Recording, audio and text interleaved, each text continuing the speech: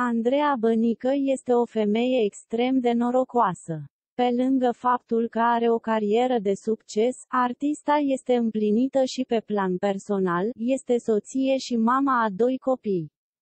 Însă, când nu e pe scenă și nici nu se ocupă de atribuțiile casnice, ea și soțul ei sunt oameni de afaceri de succes. Andreea Bănică a primit un cadou de zeci de mii de euro. Cântăreața și Lucian Mitra formează un cuplu de pe vremea când erau doi adolescenți, iar timpul și munca depusă i-a transformat acum în adulți pentru care banii nu sunt o problemă.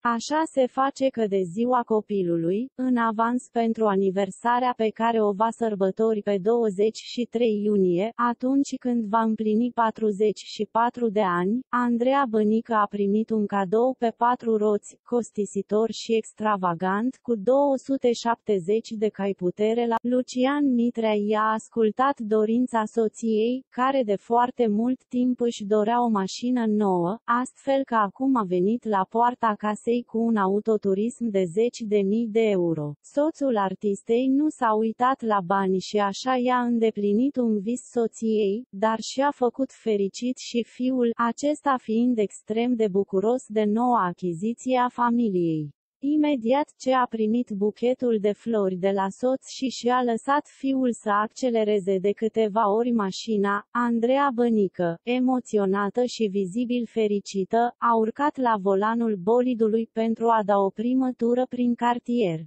La mulți ani, copii din lumea întreagă! Sper că v-ați primit cadourile. La noi a venit, mi-am dorit tare mult mașina asta și nu doar eu.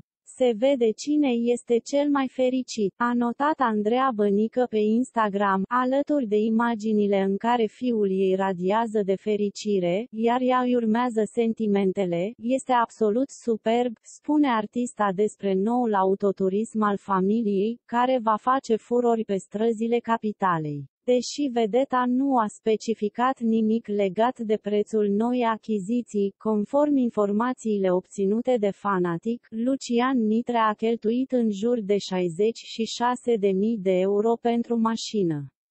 Însă prețul final, pentru că bolidul dispune de mai multe facilități opționale, poate ajunge și la 70.000, 80.000 de